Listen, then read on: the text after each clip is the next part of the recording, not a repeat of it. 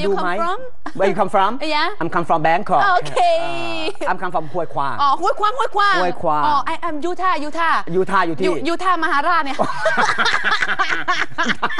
หาลาดว่ะ ไม่ใช่ยูทาอเมริกา เออมุกนี้โอเคขอยิ้มไปใจบ้าง Where you come from ยูทายูทาห์ Where is ทายูทามหาราช นกวานิดารออยู่อ๋อวันนี้น่าสนวัสกดีบอกค่ะว่าเมื่อไหร่มันจะเข้าฉันสักทีเขาบอกให้โปรยสั้นเออเออเออเอาไปไปนกวานิดาไปดูไปๆ ดู เชิญค่ะ เชิญค่ะ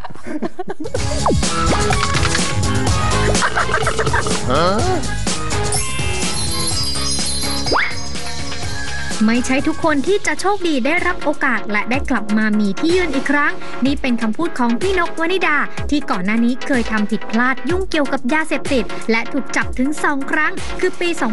2552 และปี 2553 แต่ในวันนี้เราได้เห็นพี่นกกลับสู่หน้าจอบ่อยขึ้นอีกครั้งค่ะ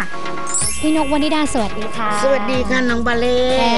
เดี๋ยวนี้เริ่มเห็นหน้าพี่นกผ่านหน้าจอมากขึ้นแล้วนะคะเออเริ่มเยอะขึ้นแล้วค่ะ ก็อาจจะทีหน่อยช่วงนี้หลังจากที่หายไปนาน เรียกว่าชีวิตตอนนี้กลับมาแบบคล้ายปกติเหมือนเดิมละกลับมาเข้าวงการมีงานอะไรเหมือนเดิมแล้วตอนนี้ เกือบจะร้อยเปอร์เซ็นต์แล้ว อืม ก็เกือบจะเหมือนเดิมแล้วค่ะ แล้วก็แต่มันดีกว่าเดิมก็คือเราได้ได้เหมือนมีชีวิตใหม่ อืม เรามีความสุขกับการที่ทุกคนให้โอกาสเราแต่ กว่าที่พี่นกจะกลับมายิ้มได้ก่อนหน้านี้เนี่ยพี่นกต้องต่อสู้กับตัวเองหนักมาก เพราะความเครียดที่ชีวิตดิ่งลง กลายเป็นคนตกงาน ไม่กล้าเจอหน้าผู้คน จนตัวเองกลายเป็นโรคซึมเศร้าไปเลยค่ะ ใช่เลย คิดอย่างเดียวนั่งร้องไห้นั่งแบบคือเกลียดตัวเองมากอะมันรับตัวเองไม่ได้ ค่ะ แล้วก็ลูกก็มาให้กำลังใจว่าแม่อย่าเป็นอย่างนี้แม่ต้อง ต้องสู้ต้องค่ะสู้คือต้องออกไปข้างนอกไม่ออกไปเลย ไม่ต้องไปกลัวใครเขามองอะไรเขาก็แม่จะได้รู้ว่าเขาคิดกับเรายังไง มันก็เป็นอย่างที่ลูกพูดอืมก็คือทุกคนเข้ามาแบบสู้ๆนะ ให้กำลังใจเป็นกำลังใจนะให้เออ มันก็เลยทำให้เรา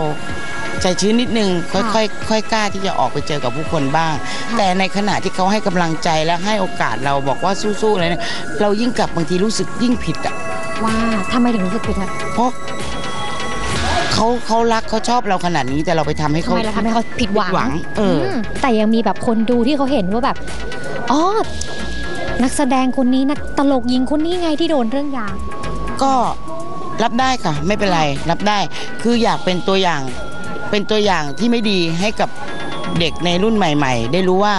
นี่อะตัวอย่างที่ไม่ดี เพราะตัวอย่างดีๆก็มีเยอะแล้ว นี่ตัวอย่างที่ไม่ดีดูไว้ว่าถ้าเขามาผิดพลาดแบบเราอะชีวิตเขาก็จะล่มสลายเหมือนกัน ครั้งที่สามก็ฆ่าตัวตายเถอะค่ะคุณ คิดว่าอย่างนั้นมากกว่านะคะเพราะมันไม่มีแล้ว อายุก็ไม่น้อยแล้วอะค่ะมีโอกาสครั้งนี้ครั้งสุดท้าย ถ้าไม่เริ่มต้นใหม่ชีวิตให้มันดีก็คงไม่มีโอกาส แล้วก็บอกเลยว่าเป็นคนที่โชคดีอย่างหนึ่งอืมที่มีโอกาสดีๆ แบบนี้ แล้วก็อยากจะบอกคนที่คิดจะยุ่งเกี่ยวกับยาเสพติด คุณไม่มีโอกาสดีๆ แบบนี้ทุกคนนะคะ กลับมาครั้งนี้เรียกว่าชีวิตเป็นแบบฟ้าหลังฝนไหมเลยตอนนี้ ใช่เลยฟ้าใสฟ้าเปิดเลยค่ะทั้งหมดก็เป็นเพราะกำลังใจและโอกาสที่ทุกท่านมอบให้ และที่สำคัญก็คือลูกลูกกับแม่ที่ที่ทำให้เราได้กลับมายืนตรงนี้ 30 กว่าปีกับอาชีพศิลปิน ซึ่งพี่นกบอกว่าเป็นอาชีพเดียวที่ทำได้ และเป็นอาชีพที่รักมาก ซึ่งต่อจากนี้พี่นกก็จะทำหน้าที่มอบความสุขให้กับคุณผู้ชมได้นานที่สุด และสัญญาว่าจะไม่ทำให้ผิดหวังอีกแน่นอนค่ะ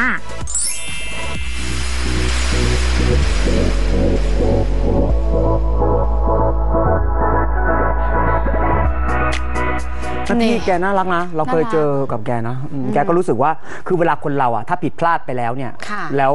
แล้วขอโอกาสสังคม แล้วตัวเองเปลี่ยนพฤติกรรมตัวเองได้เนี่ย อันเนี้ยน่าเห็นใจแปลว่าหนึ่งคือเขายังมีสำนึกดีอยู่ไงอืมเออเออให้กำลังใจให้เขาใช่นะคะใช่กลับมาให้โอกาสก็ถือว่าเป็นเรื่องที่ดีอืมค่ะ อะก็รอดูผลงานของพี่น้องวนิดากันละกันนะฮะ